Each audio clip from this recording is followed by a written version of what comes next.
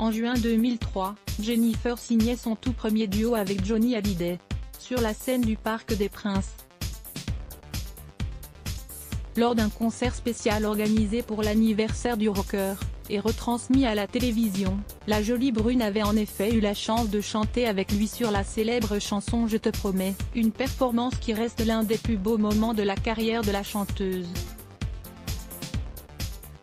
En 2019, Jennifer avait révélé que ce n'était pourtant pas la première fois qu'elle rencontrait Johnny Hallyday. La chanteuse avait en effet eu la chance de le voir quand elle était enfant, alors qu'elle vivait encore en Corse.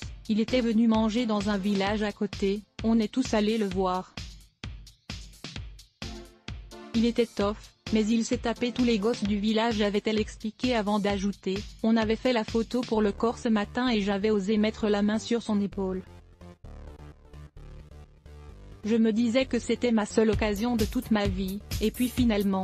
En effet, l'interprète du tube au soleil a eu la chance de revoir Johnny Hallyday plein d'autres fois au cours de sa carrière.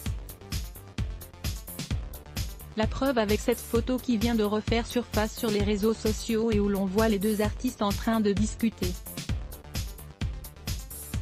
Jennifer est habillée d'une petite robe verte très décolletée tandis que Johnny Hallyday quant à lui vêtu d'un costume noir. Un cliché très certainement pris en coulisses d'une émission de TF1, où ils ont pu se croiser à plusieurs reprises durant leur carrière respective.